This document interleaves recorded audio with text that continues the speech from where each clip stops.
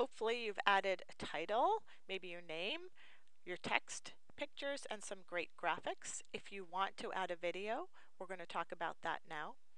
Again, your tools buttons is right here. Just click on it and you can click on video. Again, there are three ways to add video. You can upload a video that you made uh, that's sitting on your computer. That's one way to do it. You can upload a video using a link and that's what I'm going to show you and the way I'd like you to do it. You can also grab a video which means that you will make a video with the webcam but we're not going to do that.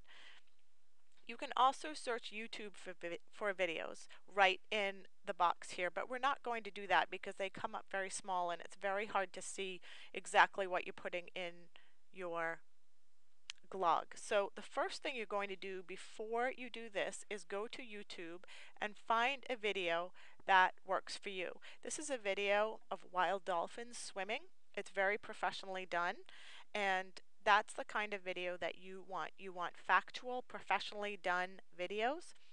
You need to be very careful with your search terms in YouTube and you need to pick appropriate content that you would want to share with your classmates that have to do with the subject that you're studying.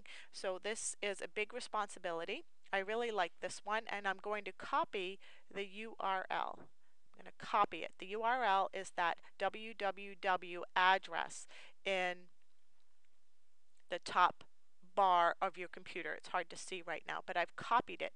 I go back to Glogster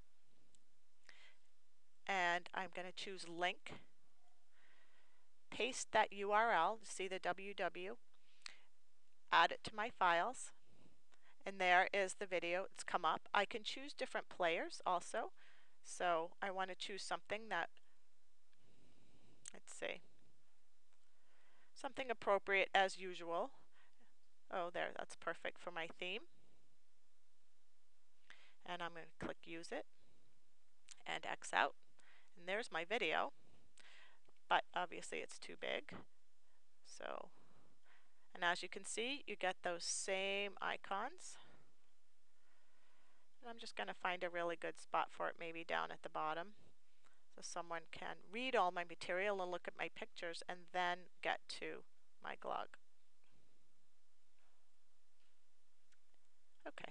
And that's really uh, as simple as it is. You just put the URL um, under video.